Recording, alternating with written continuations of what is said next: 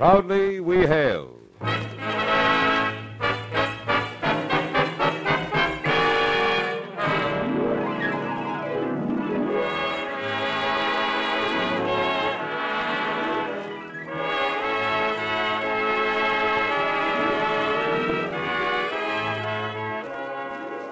From New York City, where the American stage begins, here is another transcribed program with a cast of outstanding players and featuring Bill Quinn. Public service time has been made available by this station for your Army and your Air Force to bring you this story as proudly we hail the Army Chaplain Corps.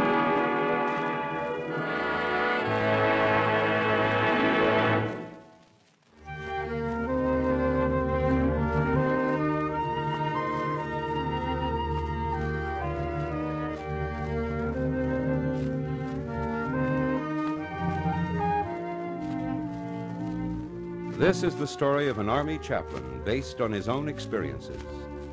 It shows us how these dedicated men are active in the safety of a stateside camp or in the danger of a Korean hill.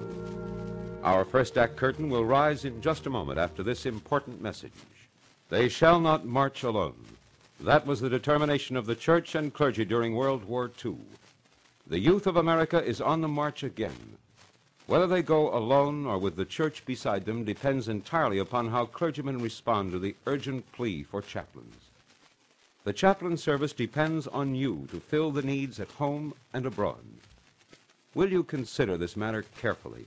And if you can possibly be spared from your present assignment, make application now. Simply write to the Office of the Chief of Chaplains, Washington 25, D.C.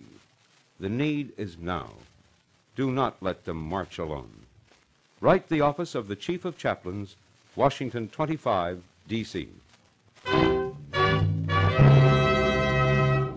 And now, with Bill Quinn in the role of Chaplain Lynch, your Army and your Air Force present the proudly we hail production, The Courage You Gave Us.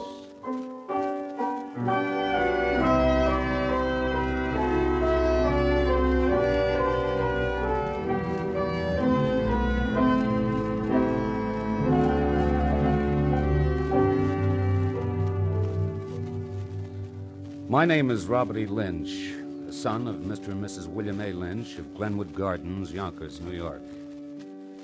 I was ordained a Catholic priest in 1943 and volunteered for the Army Chaplain Corps in April 1945. I remember while I was preparing for the priesthood that I'd hoped and dreamed that my assignment would not be an ordinary one. I wanted a tough parish, a challenging parish and I found my challenge. In the Army Chaplain Corps, the world was my parish. My job was to bring the men closer to God, to help them learn to live well, so that if God called them, they'd be able to die well. And if God spared them, they could return clear eyed, clear minded, and clear hearted to serve God and their fellow man.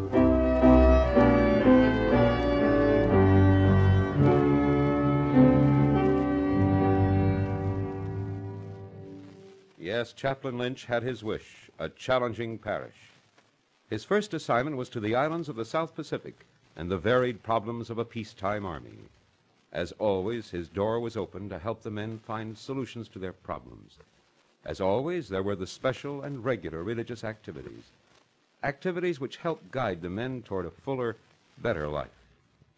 But then, in the summer of 1950, A Yank Street, Yank Street Communist Army hit smashing blow in Korea. Extreme. Armed aggression in Korea, and into the breach rushed the armed might of the United Nations. With the American 8th Cavalry Regiment was Chaplain Lynch. How much he was with them is a matter of record. Listen. By direction of the President and pursuant to authority contained in AR 60045, the Bronze Star Medal, 1st Oak Leaf Cluster with V device, for a heroic achievement in connection with military operations against an enemy of the United States, is awarded to the following named officer Chaplain Captain Robert E. Lynch, 0932 603, Chaplain Corps, United States Army. Headquarters and Headquarters Company, 8th Cavalry Regiment, 1st Cavalry Division, is cited for heroism in action against an armed enemy on 12 March 1951 near Odachi, Korea.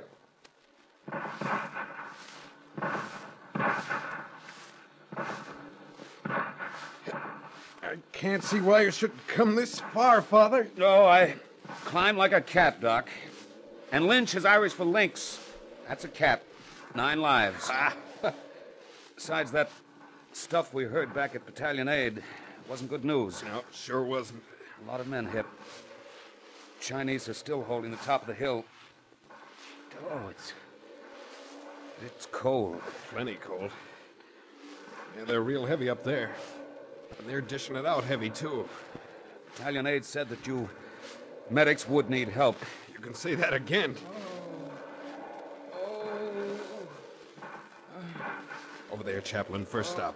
To the right, there. Yeah, near the big rock. Let's go. Oh, oh my legs. My leg. Okay, fella, your legs. Any place else? No. Just my legs.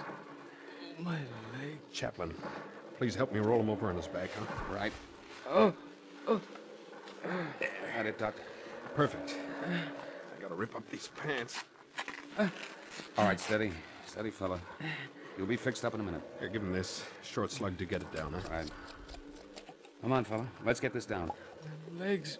Uh, my my legs. You'll be all right, fella. Now, this might sting a little. Hold on.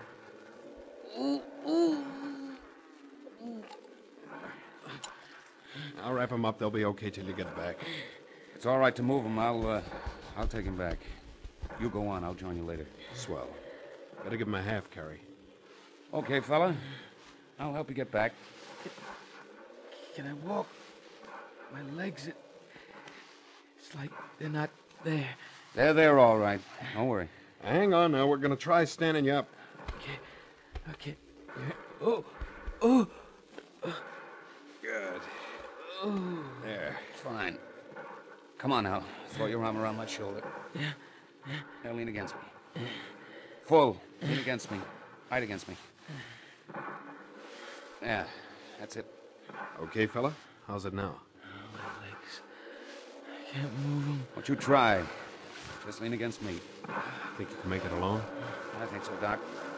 He's not too heavy. Good. See you later. Good luck. So long, Doc. God bless you.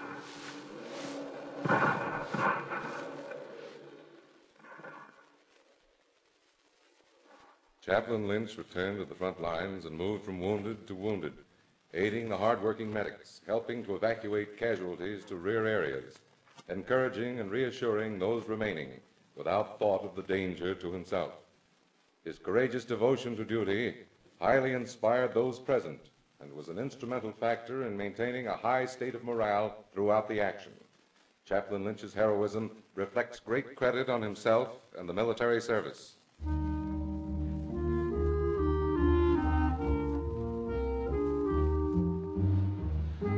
As a chaplain, I was privileged to help the men out of various difficulties, help them solve complex problems. And sometimes I was fortunate enough to play a small part in loosening the intricate knots brought on by their own desire to lend a humane hand wherever they could. If this sounds at all critical, please don't misunderstand. I, I only want to point out that wherever our men are located, they automatically, practically without effort, get themselves happily involved in projects helping the helpless. The story of Curly is a good example.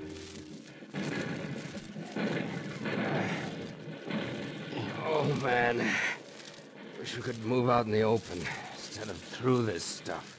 Stanford, I feel a heap safer here. Yeah, it's worse than barbed wire.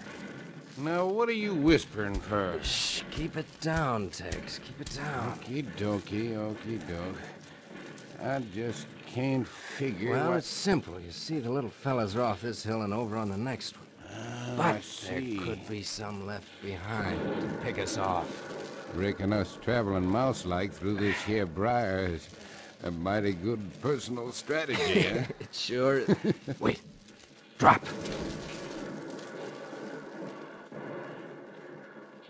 Tex. Uh-huh. Up ahead. To my left, see? Uh-uh. See that big bush with the flowers? Yeah, right purty, too. Yeah, but take a look at that straggly one next to it. Yep, Okay. Now look under it. yep. Just beyond it. What do you see? I reckon something's moving around. Like in a shell hole, huh? Right. Look. Give me about two lengths for a start. Then follow me and keep me covered. Okie dokie.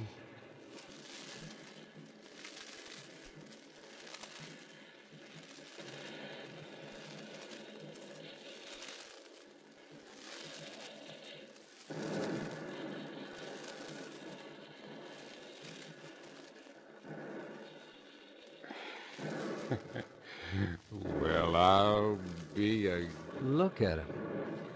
He's all eyes. got a smile like a morning glory. All eyes and bones. Chop, chop. Have no. No chop, chop.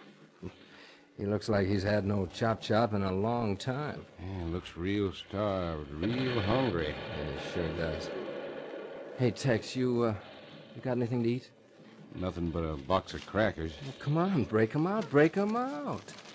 Yeah, not bad shape they're in. Here, boy. Hey, hey, whoa, wait a minute.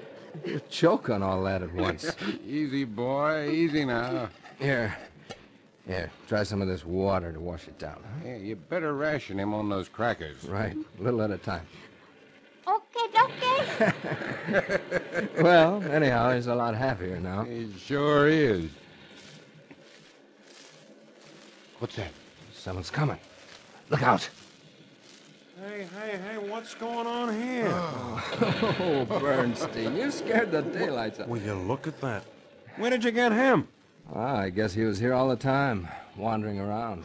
Looking to me. Hey, kid, you want my chocolate? Hey, thank you, Bernie. What are you gonna do with him? You can't leave him here. And you guys better get going yourselves. Most of the platoon has passed you already. Look at the kid put that stuff away. Look at the eyes on him. Yeah, he's all eyes.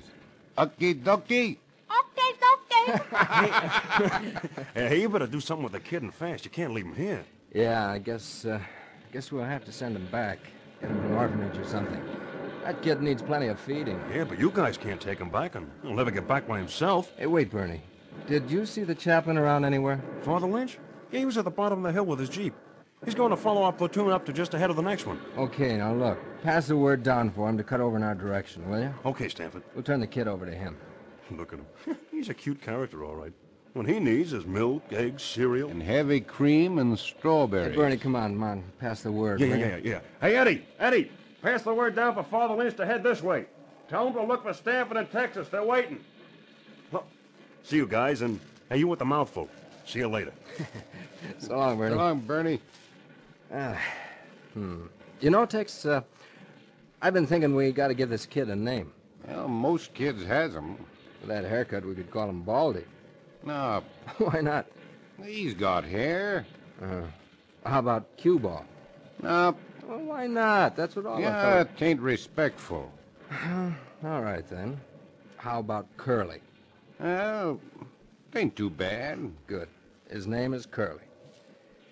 Hey, Curly. You got a name now. How do you like that? Curly. Okay, okay. Well, after this mess is over, I'm going to be a charter member of the Honorable Order of Mountain Goats. Hey, Hi, Father. Father. Hi, and...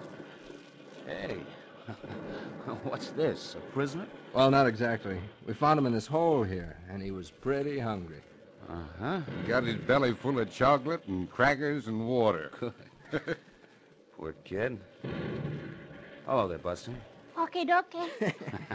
His name's Curly, Father. Good name. Well, I guess you fellows want me to take him back to an orphanage. Well- I can do that right away. My jeep's at the bottom of this young mountain. Shouldn't be up here anyway. I'll have him at an orphanage in less than an hour. Oh, well, you see, Best Father. place for him, too. You see, we. Good thing you found a little fellow. Curly, huh? Give him a name. Now, he'll be all right at the orphanage. We'll get those dirty rags off him and get all cleaned up, and he'll be happy. Oh, come on, little fella. Come on, get in my arms. I'll heave you up on my shoulder. Come on. There. sure you understand. Now, up on my shoulder. Okay, okay. That's a boy. And off we go for the orphanage.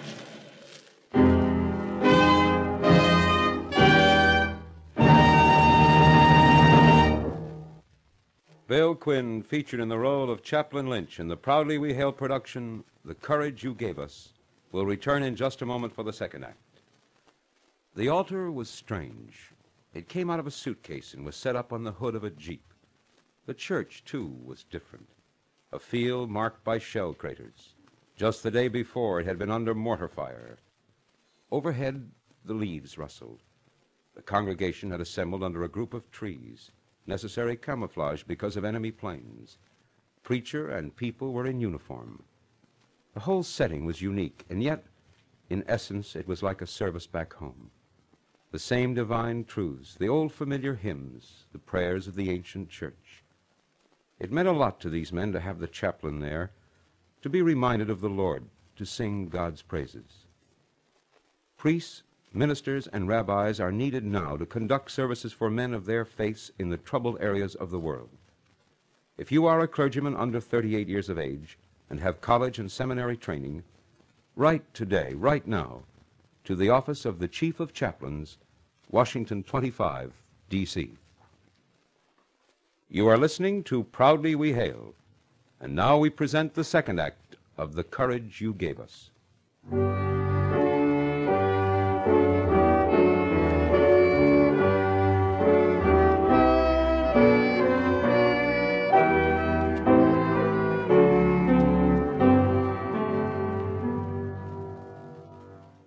The greatest battle a soldier fights is his personal conquest of fear. And many times the chaplain, like Chaplain Lynch, is right there on the spot to help. That's it. That's it, Father. For an hour now, it's been, going on like that. The medics are there already, Lieutenant. Every minute for more than an hour. They got young Teddy Gordon, a terrific little corporal. Every minute. Yes, I know, I know, but the the medics are working. Ray Johnson was hit. Best top kick I've ever known. Good man. Good man. Good man. Yet, get this, Father. He had a chicken farm all paid up. All paid up and waiting for him. Father, everybody talks about chicken farms. Everybody plans on one like like like like somebody wants a, a weekly newspaper or a small delicatessen in a busy neighborhood. Everybody dreams like that, Father. Everybody. God bless him. Ray dreamt like all of us do. Always about the future. What happens to a man's dreams, Father? We're here because of the dreams and prayers of our people. And our own dreams and prayers. There go more dreams, Father. Several sets of dreams. They got us zeroed in and they know it. They're not just lucky, we're zeroed in, and, and now it won't be long before another wave comes screaming over that ridge. Three waves have been beaten back already. But every wave gets worse. Three, you say? Seems like a dozen. The next one will be beaten back too. We've got to. We need this post. We need it bad, but how much can the men take? I know. It's nerve wracking. It's more than that, Father. Look out there. Look at the men's faces. Look at their eyes. Look at them. Every man out there is scared stiff. Not just normal fright. I know. How about yourself? Myself? I don't know, Father. I. I don't know. I do know I'm real scared. Fine. That makes two of us. You have courage and you have a heart. And God be with you. I'm going out and talk with the boys. Oh, Father, no, no, no better stay here. I didn't mean you It's should. okay, Lieutenant. Don't worry.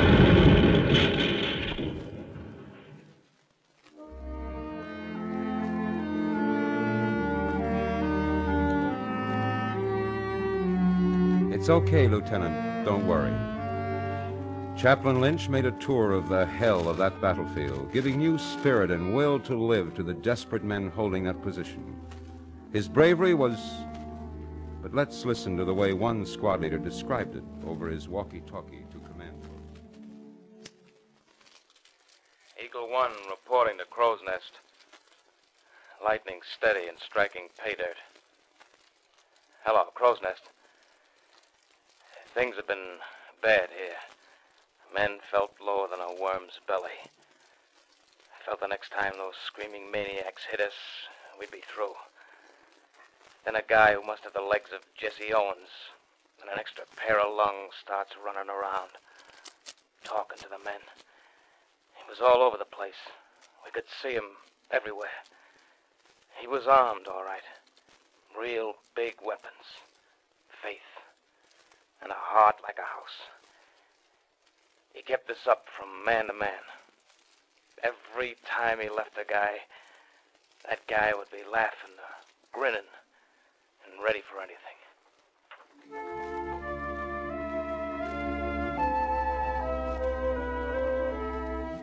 Grinning and ready for anything. Yes, Father Lynch's heroism did not go unnoticed. Official recognition was recorded, too, in the peaceful calm of an auditorium somewhere. By direction of the President and pursuant to authority contained in AR 60045, the Silver Star Medal for gallantry in action is awarded to the following named officer Chaplain Captain Robert E. Lynch, 0932603, Chaplain Corps, United States Army, Headquarters, 8th Cavalry Regiment, is cited for gallantry in action against an armed enemy on 5 and 6 June 1951 near Yongchon, Korea.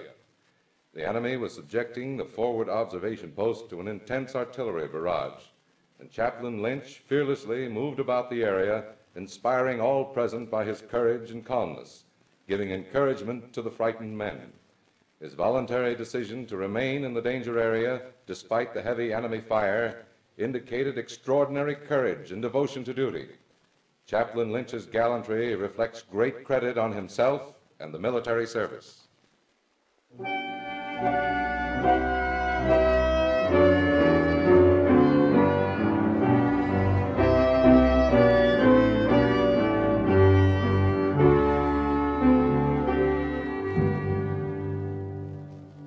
is sometimes difficult, even bewildering, to accept honors awarded for the performance of one's duty. But there are unexpected rewards for a chaplain, Protestant, Jewish, or Catholic. Like a letter I received from a young ex soldier, written to me just this past Christmas Eve. I am very happy to know that you returned safely. I thank God that you are here. You may not know me, but I served with you in the 1st Cavalry Division. And I remember when you came to the outfit. You inspired us, gave us the confidence we needed. I can't explain what it was, Father, but you made everything easy. That time you spent with Fox Company, I'll never forget. I hope, Father, you'll answer this letter. I'd really appreciate it very much. Because I was there when you said Mass on Christmas last year. And how you made us feel that everything was all right. I'll sign off now, Father. But I hope I'll hear from you soon. I was with F Company, 8th Cavalry Regiment. And I'll always remember the courage you gave us.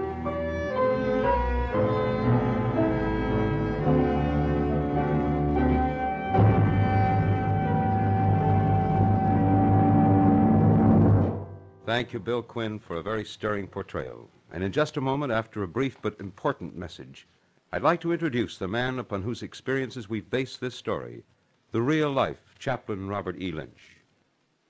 Pick up a coin. Stamped on it, you'll find the words, In God We Trust. Not in our wealth, not in our natural resources, not in our might. In God we trust. That spirit of humility, that dependence upon God, has always characterized our nation. National emergencies make us even more aware of our need for heaven's help. America's fighting men look for divine direction and seek religious leadership from their chaplains, men trained in the truths of God, men aware of human needs, men dedicated to service. The Army is calling for more such men, clergymen who will volunteer their services during this emergency. The office of the Chief of Chaplains, Washington 25, D.C., will be glad to furnish details. If you are an ordained clergyman under 38 years of age and with college and seminary training, write to the office of the Chief of Chaplains, Washington 25, D.C.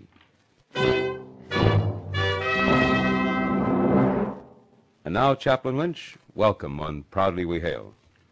Ken, I want to add my thanks and congratulations to you and to everyone connected with this presentation. Hearing this story has made me relive, not the happiest, because there was too much suffering on the part of our men to be the happiest, but by all means the most memorable time of my life.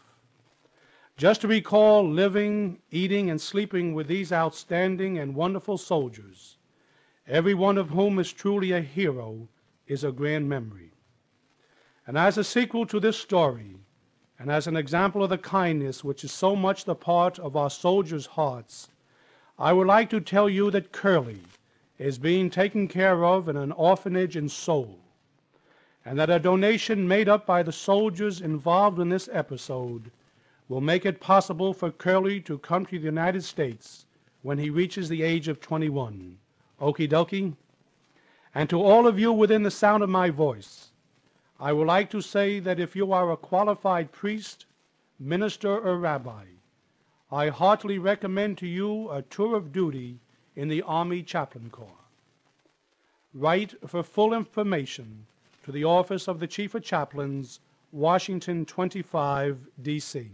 I hope that tomorrow's mail to the Office of the Chief of Chaplains will be bulging with urgently needed applications of clergymen to follow their men wherever they may go in this present emergency.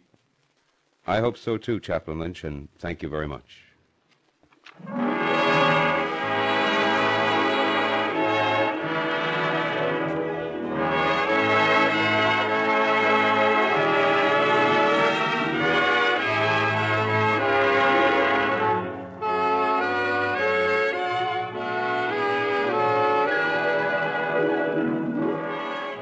This has been another program on Proudly We Hail, presented transcribed in cooperation with this station by the United States Army and United States Air Force Recruiting Service. This program featured Bill Quinn as Chaplain Lynch. This is Kenneth Banghart speaking and inviting you to tune in the same station next week for another interesting story on Proudly We Hail.